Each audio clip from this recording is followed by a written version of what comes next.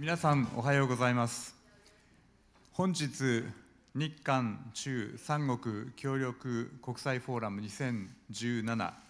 がこのように盛大に開催されますことを心よりお祝い申し上げます。1999年から続く日韓中サミットの歴史は2011年の三国協力事務局 TCS の設立等を通じて制度化されてまいりました。本国際フォーラムもこの3カ国協力の枠組みのもと2011年から行われてきております。一昨年の東京昨年の北京での開催に続く形で本日ソウルにおいて、えー、国際フォーラムの開催に至ったことにつきまして、陽光蘭 TCS 事務局長および関係者の皆様のご尽力に対し、心より敬意を表し、感謝を申し上げます。現在、北朝鮮問題やシリア情勢など、地域、国際情勢が緊迫した状況にあります。本日の議題にありますとおり、アジア地域のみならず、国際社会全体が不確実な時代に直面し、多くの問題を抱えております。こうした中で、互いに隣国である日本、韓国、中国が国際社会における責任ある立場として、互いに協力、連携する必要があることは疑いようがありません。私たちの果たす役割に対して、国際社会の期待と注目がますます集まっております。地域の安全保障の問題は待ったなしです。昨年1月以降わずか1年余りの間に北朝鮮は2回の核実験および約30発もの弾道ミサイル発射を行っています。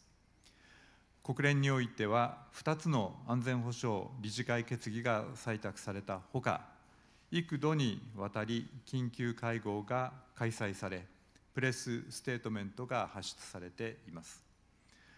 新たな段階の脅威になっている北朝鮮の核・ミサイル開発に対処するためには、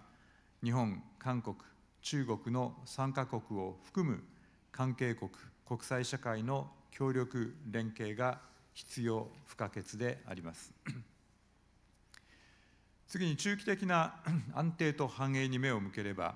いずれも世界有数の経済大国、貿易大国である日本、韓国、中国の3カ国の間で、相互の交流がますます盛んになることが重要です。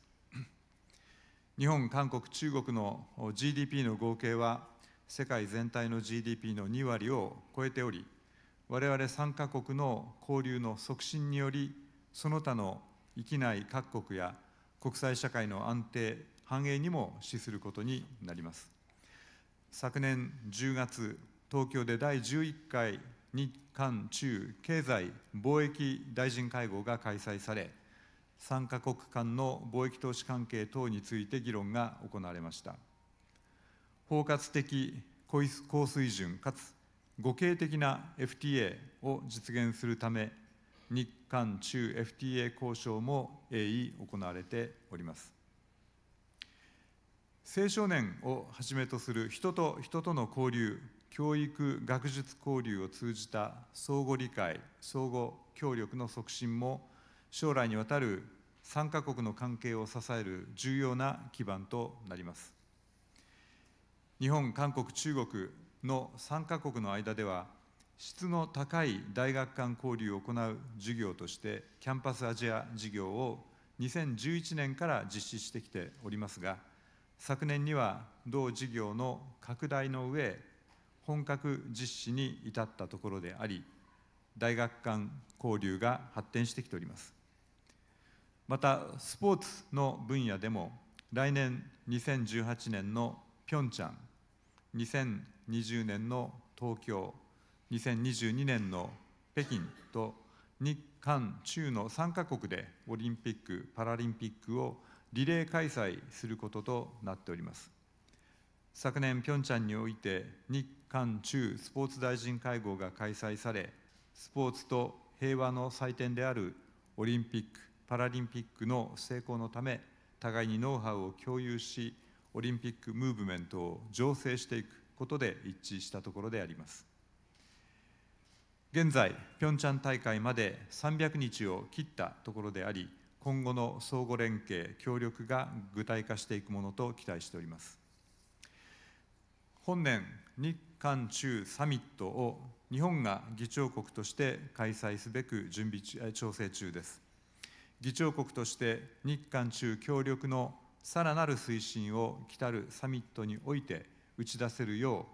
韓国及び中国と緊密に連携しながら準備を進めていく考えです。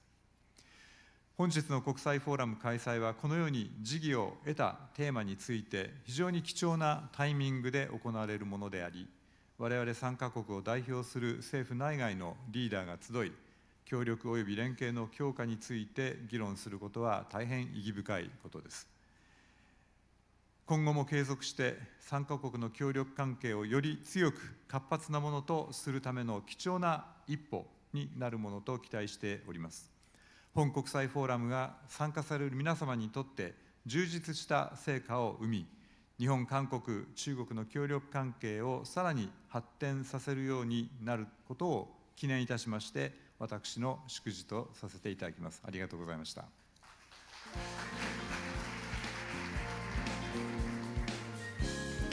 Thank you, Mr. Nagamine, for your comments.